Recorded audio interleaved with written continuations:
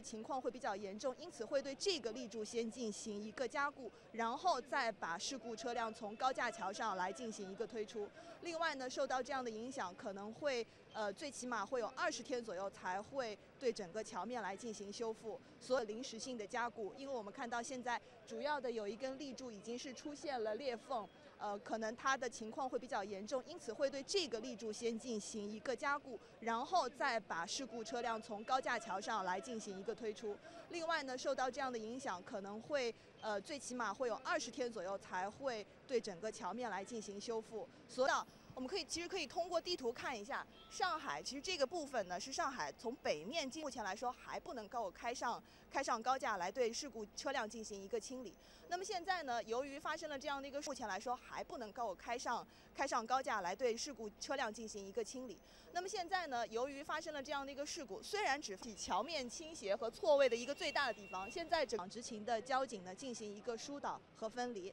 那么这样的疏疏导和分离呢，车辆还是会需要开到周边的这些更加小的道路，因此这些道路承载了非常大的一个车流量。就在直播前，我们发生在昨天的凌晨，而且呢，并没有造成任何的人员伤亡。但是事故的影处置呢，显然并不是这么的容易，因为呢，呃，根据大部分的货物呢，都已经是掉落在地上了，其中一部分还顺着高架的整个的呃，从整个第一层的这个高架一直是呃落在整个地面上了。那么经过发生了一个侧翻，当时呢是由。